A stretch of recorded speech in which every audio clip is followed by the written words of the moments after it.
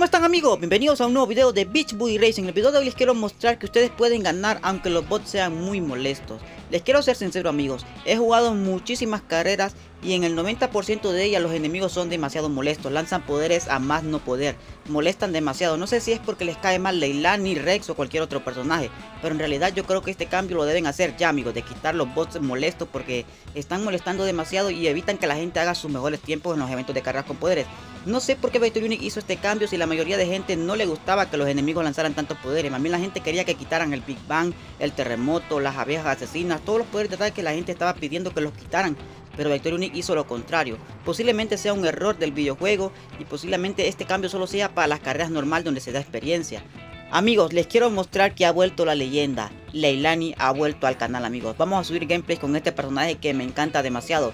Antes, si ustedes recuerdan, la utilizaba en casi todos los eventos. No paraba de utilizar a Leilani. Bueno, vamos a volver a utilizar este personaje porque yo considero que con Rex son los personajes más humildes. Leilani y Rex son los personajes que te dan al inicio del videojuego. No tienes que hacer nada para que te los den, simplemente por iniciar sesión en el videojuego ya te ganaste esos dos personajes, Leilani y Rex.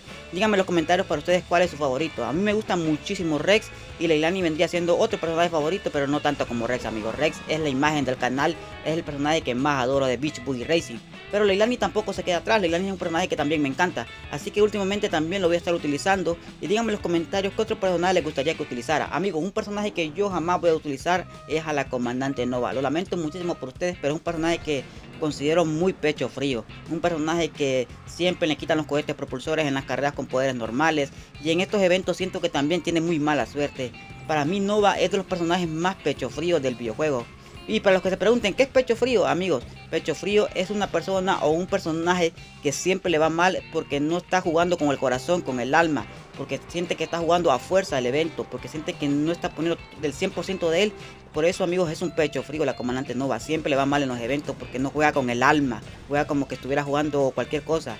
Y otra cosa muy importante, amigos, que les quiero decir es que Muchos estarán preguntando en su mente, Julio, ahora sí me recomiendas utilizar poderes como el ángel, el escudo o el trampolín. Amigos, todavía siguen siendo poderes muy malos. Esos poderes son muy mediocres.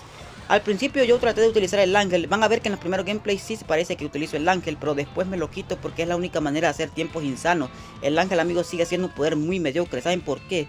Porque los enemigos no hay manera de predecir cuándo te van a atacar. Tú no sabes cómo, en qué momento los enemigos van a decidir atacarte porque muchas veces me salió el ángel, pero ¿qué es lo que pasa? No me atacaron para nada cuando llevaba el ángel. El único poder que yo les recomiendo que lleven siempre, siempre de protección son las curas, amigos. Las curas yo considero que es el poder mejor de protección. No hay ninguno que lo pueda superar porque las curas, aparte de que se pueden gastar muy rápido, te pueden servir para traspasar obstáculos, para cancelar poderes que te están, que te están lanzando. La verdad que es un poder que está rotísimo. Otro motivo por el cual yo no les recomiendo que lleven el ángel es porque perjudica demasiado, pero demasiado al toro enfadado. Ustedes saben que el toro, amigo, necesita chocar obstáculos o embestirlos para recibir velocidad. Pero ¿qué es lo que pasa? Hay veces que te va a salir el ángel y el toro al mismo tiempo. En ese caso, el ángel va a perjudicar demasiado al toro, ya que no va a permitir que el toro choque obstáculos. Lo que va a pasar, amigos, es que va a traspasar los obstáculos y es algo que no, nosotros no queremos. Nosotros queremos ir muy rápido para ir hacer los tiempos más insanos. Así que, amigos, no utilicen el ángel, perjudica demasiado al toro enfadado. Es como que estuvieran cancelando el poder que le da el toro, amigos. Observen en pantalla qué insana es Leilani, amigos. Por eso me encanta este personaje. Díganme en los comentarios cuáles son sus personajes favoritos. A mí me gusta demasiado Leilani, Rex, el Cipo. También me gusta un poquito Roxy Roller, pero es el personaje que más se me dificulta conseguir porque no sale evento para conseguir a Roxy Roller, amigos. No sé por qué Victory no quiere sacar un evento para conseguir a esa rubia, amigos. Que es un personaje que a muchísima gente le gusta. Me gustaría conseguirlo, pero por el momento es imposible que saque un evento para Roxy Roller.